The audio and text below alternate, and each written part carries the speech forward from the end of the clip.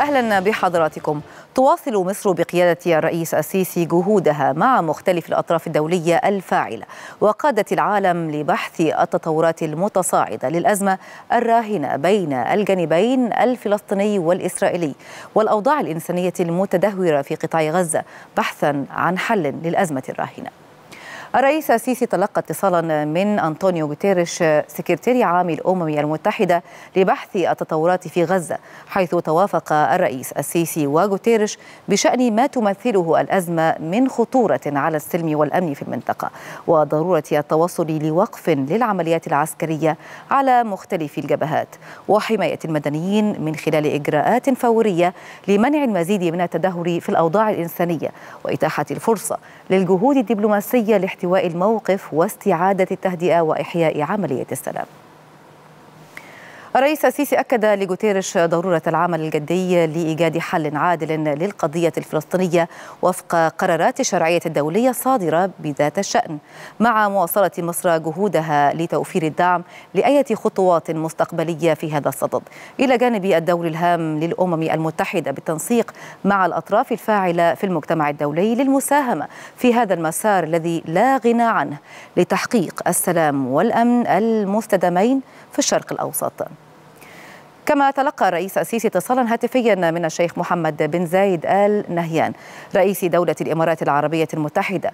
تناول تطورات الأوضاع على الساحة الفلسطينية والجهود الجارية لوقف التصعيد العسكري الجاري حيث توافق الرئيسان على أهمية تكثيف التنسيق والتشاور ودفع الجهود الدبلوماسية الرامية لخفض التصعيد والعنف لحماية المدنيين وحقن الدماء والشروع في مسار تحقيق السلام الشامل والعادل والمستدام. لضمان الأمن والاستقرار في المنطقة.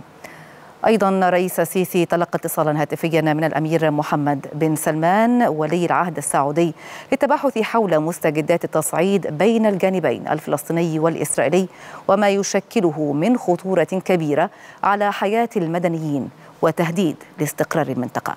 حيث تم التشديد خلال الاتصال على أهمية ضبط النفس وتغليب صوت العقل ومسار التهدئة منعا لتدهور الأوضاع الأمنية والإنسانية وخروجها عن السيطرة.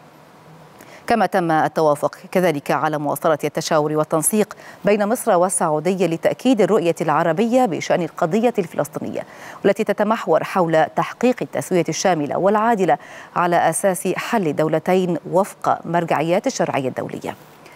الرئيس عبد الفتاح السيسي تلقى اتصالا هاتفيا من نظيره القبرصي نيكوس خريستودوليدس أكد الرئيس السيسي مواصلة مصر لاتصالاتها الحثيثة مع مختلف الأطراف من أجل تحقيق التهدئة ووقف التصعيد المتبادل مع التشديد على أهمية التعامل مع القضية الفلسطينية من منظور شامل يعالج جذور الأزمة ويحقق الاستقرار المستدام في المنطقة.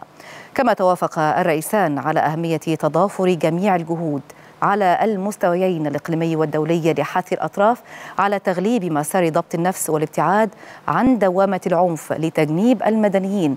تبعات هذا التصعيد.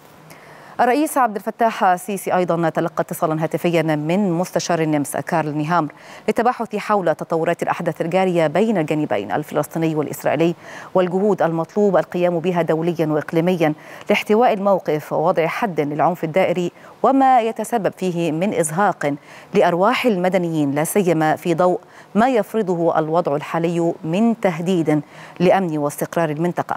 حيث أكد رئيس السيسي ضرورة دفع مسار التسوية الشاملة والعادلة للقضية الفلسطينية على أساس حل دولتين وهو الأمر الذي يتطلب وقف التصعيد ومنع تدهور الموقف وحث الجميع على ضبط النفس.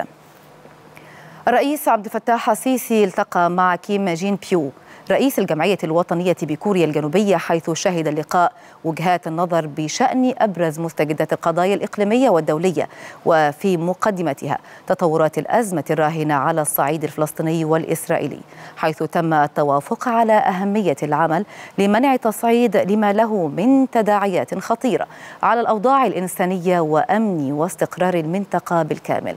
وأكد رئيس السيسي ضرورة استناد مسار التسوية الشاملة والعادلة للقضية الفلسطينية على حل دولتين بما يحقق الأمن والاستقرار لجميع شعوب المنطقة.